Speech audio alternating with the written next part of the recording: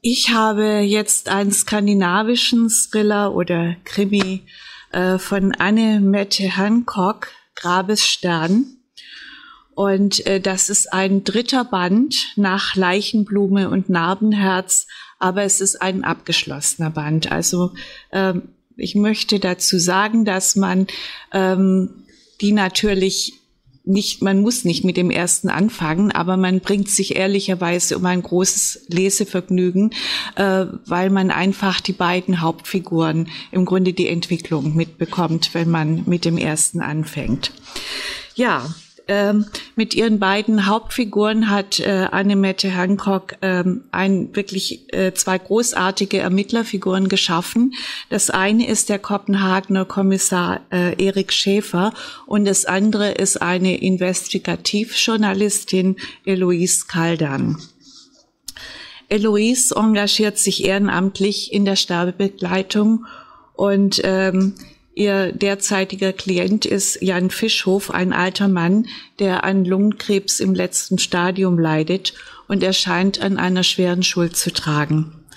In den wenigen klaren Momenten, die er noch hat, spricht er von einem Meer von Blut. Eloise versucht etwas über seine Vergangenheit herauszufinden und äh, die Spur führt nach Südjütland, wo offenbar in der Vergangenheit zwei junge Frauen spurlos verschwunden sind. Damals, vor 20 Jahren, wurde Mädchenhandel vermutet, die Akten aber nach erstaunlich kurzer Zeit geschlossen. Und äh, deswegen bittet Eloise ihren alten Freund Erik Schäfer aus Kopenhagen, ähm, ihr zu helfen. Er darf aber nicht offiziell ermitteln, obwohl es damals äh, noch andere wirklich dramatische Umstände gegeben hat. Aber äh, wenn man nun diese Krimis liest, weiß man, dass Erik Schäfer schon einen Weg findet, ihr in irgendeiner Weise behilflich zu sein. Und es kommt wirklich Unglaubliches äh, zutage. Das ist eine Geschichte, die den Leser sofort tief hineinzieht. Es ist ein Kriminalroman der Sonderklasse äh, der den Leser bis zur letzten, und das meine ich wirklich wörtlich, bis zur allerletzten Seite komplett überrascht. Man hat natürlich als Leser verschiedene Theorien, was wirklich passiert ist, aber auf dieses Ende kommt man nicht. Also ganz sicher nicht.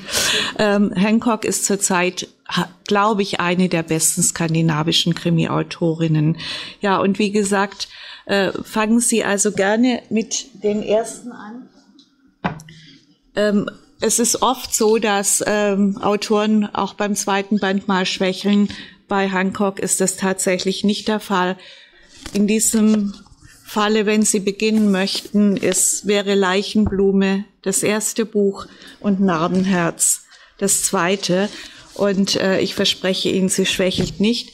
Äh, das Einzige, was ich an diesem Buch zu bemängeln habe, sind diese verschmockten Titel, die äh, der deutsche Verlag denen gegeben hat.